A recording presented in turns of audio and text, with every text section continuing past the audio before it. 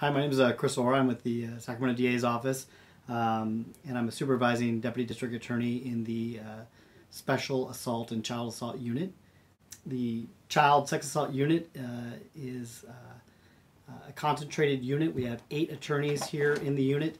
Seven of them try um, cases that involve uh, sexual assault of children under the age of 14 um, as well as uh, some very uh, serious physical assaults on children uh, under the age of uh, 18. Uh, we also have a dedicated prosecutor that handles just cyber crimes, which primarily, unfortunately, involves um, child pornography, child exploitation, and children um, getting onto social media and predators out there trying to lure children into um, bad situations. Uh, so we have eight attorneys that work on uh, these cases. Last year we received almost uh, 300 cases um, to be evaluated for prosecution, um, and we end up filing a large chunk of those. Some go to our misdemeanor unit, um, but a large amount of them stay in the felony unit, uh, doing felony uh, prosecutions of people involving child sexual assault.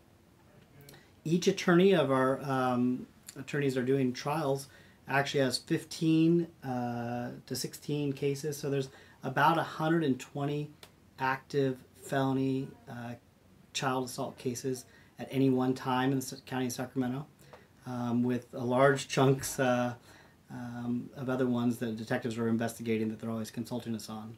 Uh, in our child exploitation unit, uh, that person uh, has about 29 to 30 cases in his unit at any one time involving people with child pornography or people trying to lure uh, children uh, through social media.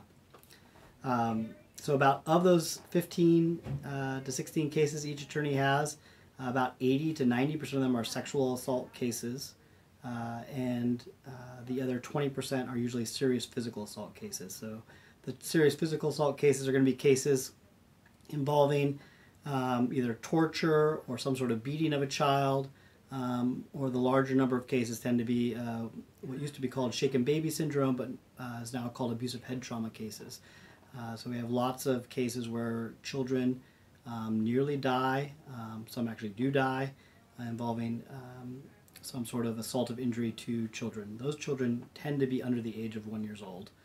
Uh, and there's uh, at this point right now in our in our unit there's about five cases active cases involving near deaths involving um, some sort of abusive head trauma to children.